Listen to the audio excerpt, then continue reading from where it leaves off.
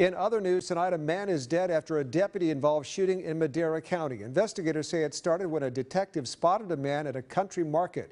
It ended with gunfire in the area of Road 20 and Avenue 6. CBS 47's AJ Cotto has more. According to the sheriff's office, the suspect had a criminal history with several felony warrants out for his arrest. A high-speed chase ends in a deputy-involved shooting after beginning at this Madera County market. Deputies received information that there was a wanted felon in the area of the La Vina market. 29-year-old Artemio Alfaro of Madera wanted on several warrants, including robbery, felony domestic violence, and vandalism. According to Sheriff Jay Varney, when Alfaro saw deputies arrive, he got in his car and took off, leading them on a roughly seven-mile chase, speeds reaching 110 miles per hour, before pulling off in the area of Avenue 6 and Road 20 and trying to run. That's when officers released a canine. He was able to get back into his vehicle while the canine was engaged with him.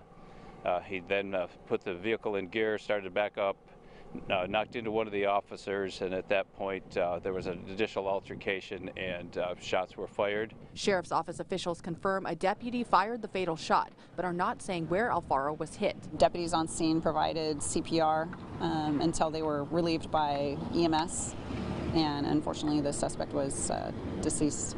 It's still under investigation how many bullets were fired and if the suspect was also armed. Varney says no one else, including the deputy who was struck by the vehicle, was injured. The Madera County Sheriff's Office understands the concern of the community, you know, wanting details on something like this. Um, and we also empathize with the family involved. Um, but in order to get verified information out, we do have to wait for the investigation. Because a deputy was involved, the shooting portion of this investigation has been handed off to an outside agency, in this case, the Madera Police Department. In Madera, AJ Cotto, CBS 47 Eyewitness News.